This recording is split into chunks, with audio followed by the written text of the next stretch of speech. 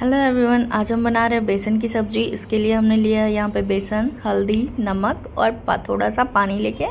इसको अच्छे से सान लिया है और अच्छा से इसे बना लिया है। और इसे हमने रोल रोल कर दिया है।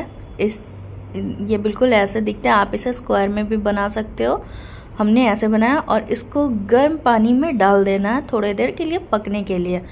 और जब थोड़ा सा ये पक जाए ना तो इसको निकाल के ऐसे काट लेना है इसको। बहुत इजी तरीका है ये। और फिर हमने ये प्याज काट रखा है और कढ़ाई में तेल गरम हो रखी है हमारी तो जीरा तेज़पत्ता और फिर आ, प्याज डाल के इसको सॉटे कर लेंगे बहुत अच्छे से।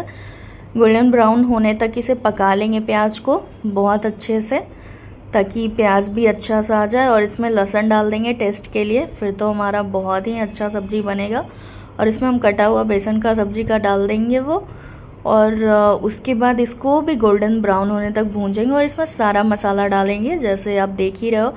रेड मिर्च है ज़ीरा गुलकी का पाउडर है, धनिया है, सारा कुछ गरम मसाला छोड़ के सारे मसाले यहाँ पे डाल देना है, नमक भी डाल देना है और इसको भी गोल्डन ब्राउन तक पकाना है।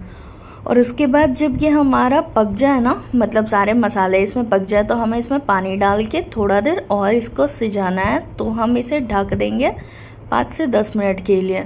और उसके बाद जब ये सीज जाएगा ना तो उसके बाद जब हम इसको हटाएँगे तो इसमें थोड़ा सा गरम मसाला डालेंगे। लास्ट में हम लोग गरम मसाला डालेंगे और फिर थोड़ी देर के लिए ढक देंगे। तो ये बहुत अच्छा आएगा। फिर मिलते हैं अपने नेक्स्ट वीडियो में।